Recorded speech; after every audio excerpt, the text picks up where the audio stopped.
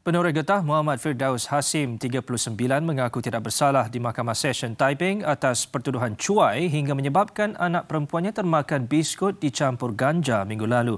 Berdasarkan pertuduhan lelaki itu sebagai orang yang mempunyai pemeliharaan terhadap kanak-kanak perempuan berumur 10 tahun 7 bulan, didapati cuai membiarkan kanak-kanak itu memakan biskut buatan tertuduh yang mengandungi ganja dan mungkin menyebabkan mangsa mengalami kecederaan fizikal dan kesihatan.